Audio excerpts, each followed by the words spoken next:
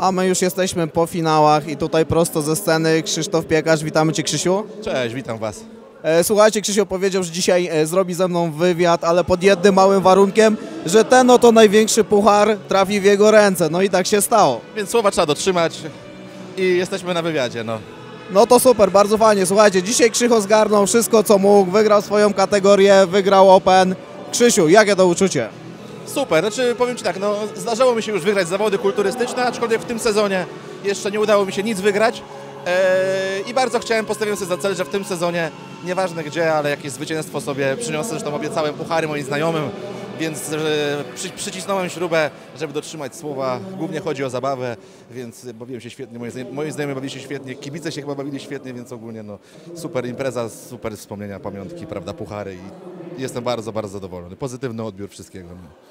No to super, dzisiaj impreza e, nam się tutaj nawet wydłużyła, prawie godzina 21, dużo porównań, dużo wyjść, mega temperatura, bo dzisiaj pogoda dopisała. Powiedz mi, jak Ty wytrzymywałeś dzisiaj to wszystko?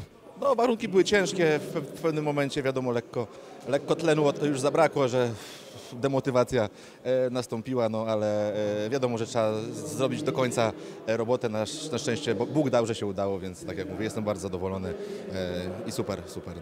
No. To super, Krzysiu, ja ogólnie e, śledzę, że tak powiem, cały czas Twoje starty, już się znamy. E, ostatnio mieliśmy e, body show, tam mieliśmy pierwszego dnia trzecie miejsce, drugiego dnia szybka rehabilitacja na drugie, a dzisiaj na pierwsze. Myślałeś, że to się tak poukłada od trzeciego do pierwszego? Znaczy najpierw było trzecie na Biogenics e, tfu, na Naku, potem Biogenics Challenge było drugie, drugie było jeszcze tydzień temu w Elblągu i dzisiaj pierwsze w, w, tutaj w Radomiu u, u, u Was, więc e, pasta jakby wzwyżkowa. Jeszcze za tydzień Białobrzegi mamy i potem jeszcze może coś i sezon kończymy na tym, e, na tym już starczy tych pucharów w, w tym roku. No.